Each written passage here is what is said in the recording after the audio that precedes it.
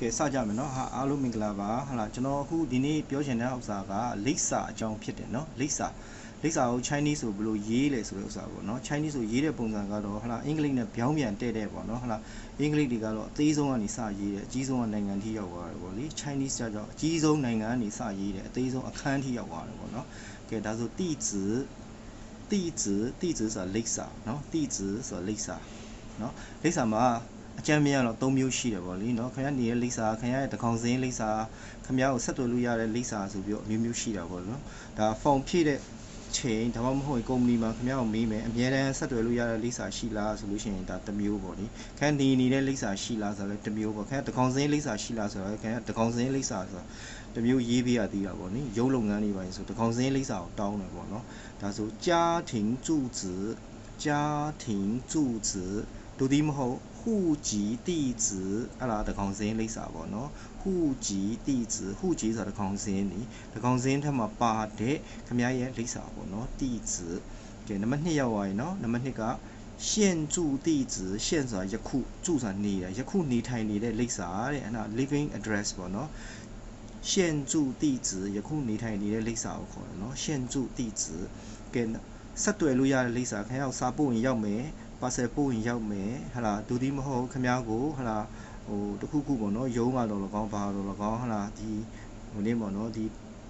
ဒီကျင်းနှန်းတွေပဲပို့နေရောက်တဲ့လိပ်စာမျိုးပေါ့နော်ထုံရွှင်ထုံရွှင်ဆိုတာဆက်တွေ့တာပေါ့လေတိကျလိပ်စာဆက်တွေ့ရလိပ်စာ liên law ဆိုတာ contact လောက်တာเนาะ liên law ဆိုတာ ငါတို့နေ့ကို contact လုပ်မယ်ဝမန်ဟွေလင်လော့နီဆိုငါတို့နေ့ကို contact လုပ်ပေးမယ်ဝမန်ဟွေလင်လော့နီလင်လော့ဆိုတာအမျိုးမျိုးရှိရလေဖုန်းဆက်တာလည်းလင်လော့တာလို့ခေါ်တာပေါ့ဗျာဒါပေမဲ့ဒီနေရာမှာဖုန်းဆက်လို့အိမ်လိပ်စာနဲ့ဖုန်းဆက်လို့မရောက်ဘူးလေဗျာဒါစာပို့မှပဲရောက်တဲ့သဘောပေါ့နော်စာပို့တဲ့လိပ်စာတဲ့ဆက်သွယ်ရလိပ်စာပေါ့နော်၃မျိုးရှိတယ်နော်โอเค၃မျိုးရှိပြီးဆိုလို့ရှိရင်သူ့ရဲ့သဘောတရားလေးကလိပ်စာရဲ့သဘောတရားလေးကနိုင်ငံနေစာနိုင်ငံကောဘာဘာဘာနိုင်ငံဆိုဘာဘာဘာကော ဘာဘာဘာစန်စန်ဆိုတာတိုင်းရှန့်ဆိုတာပြည်နယ်တိုင်းနဲ့ပြည်နယ်เนาะစန်ဆိုတာရန်ကုန်တိုင်းဆိုရန်ကွမ်းရန်ကွမ်းစန်เนาะဒါပြည်နယ်မရှိမထည့်ဘူးပေါ့ဗျာเนาะဒါစစ်စစ်ဆိုမြို့เนาะဒါမြို့မြို့ကြီးမြို့ငယ်အကုန်လုံးမြို့လို့ပဲခေါ်တာပေါ့เนาะချွီချွီဆိုတာမြို့နယ်เนาะဟိုဘာချွီတဲ့ကြောက်တဒါမြို့နယ်လတာမြို့နယ်အာ ပပဲတန်းမြို့နယ်အဲအဲ့လိုကမြို့နယ်ပေါ့နော်ဒါလမ်းလူဆိုတာလမ်းလူဆိုတာလမ်းနံပါတ်ဆိုတာ how how ဆိုတာ number နော် number ပေါ့ how ဒါ low low ဆိုတာဘယ်နှစ်ထပ်တယ်ပေါ့နော် e low ဆိုလို့ရှိရင်ဒါပထမဓာတ်ပေါ့နော်အာစစ်စစ်ဆိုတာအခန်းအခန်းဆိုခင်ဗျာ room number ဘယ်လောက်လဲဟလားခင်ဗျာအခန်း16ဆိုလို့ရှိရင်ခင်ဗျာဟလား ဟို၃ဓာတ်အခန်းနံပါတ်16ဆိုလို့ရှိရင်3လို့16 4အဲ့လိုသဘောမျိုးပေါ့နော်ဒါကြီးတာကနေသေးတဲ့အထိကိုဆင်းသွားတာနော်ကဲဒါဆိုဒီလူကိုနည်းနည်းတတိထားမှာတချို့လိပ်စာတွေမှာလူမပါဘူးလူမပါဘူးဆိုတော့လူအစားတခြားစကလုံးကိုတုံးသွားတယ်နော်တခြားစကလုံးဆိုတာလည်းသူ့အနှစ်သာရမတူဘူးဆိုမတူဘူးဆိုလို့ရှိရင်ဟာလာတုံးတဲ့ပုံစံလည်းမတူဘူးပေါ့ road road ဆိုသူကလူလို့တုံးတော့ပေါ့နော်လမ်းပေါ့ကြီးတယ်ပေါ့လေကားတွေပဲသွားတယ်ပေါ့မီးပွိုင်ပဲရှိတယ်ပေါ့နော် road